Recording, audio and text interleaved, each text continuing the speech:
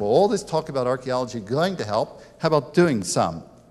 Let's get down to answering what are some of these dramatic archaeological discoveries that have really demonstrated the reliability of the text. And here we could go on and on and on, and some of you probably will think that we are going to go on and on and on. But I'll try to make it interesting and help you to smile too. Have you ever learned, notice that you learn faster and better when you smile? I don't know why that is. Your defenses seem to go down and It slips right in. So we'll try to make you uh, smile a little bit so that uh, learning takes place. Uh, let's uh, talk about how archaeology uh, verifies history.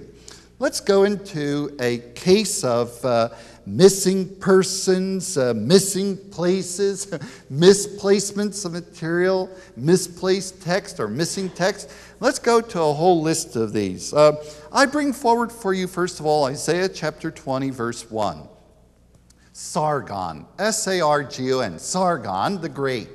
Here is the man who is supposed to have captured the northern kingdom of uh, Israel in 722 BC. He captured Samaria, took it captive, and his name is Sargon.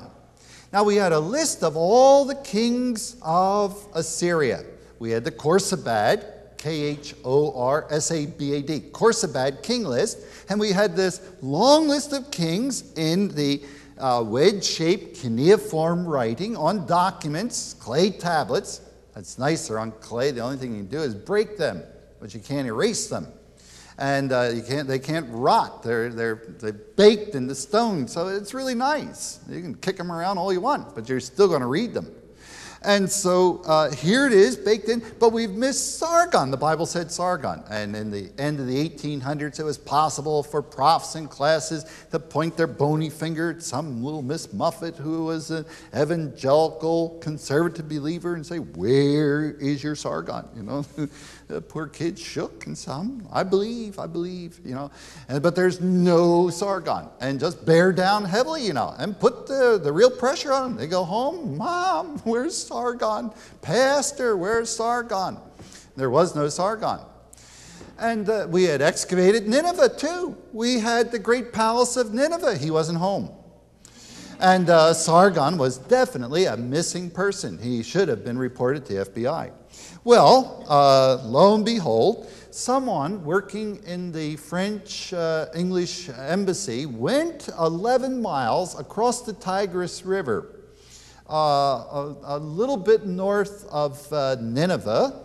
Uh, and some of you have seen this, has been in the news there, Mosul, and went north of that to a site called Khorsabad, K H O R S A B A D, Khorsabad. And lo and behold, they came across a ruin, a ruin of uh, almost uh, 15 to 20 acres of material, with buildings, room after room after room.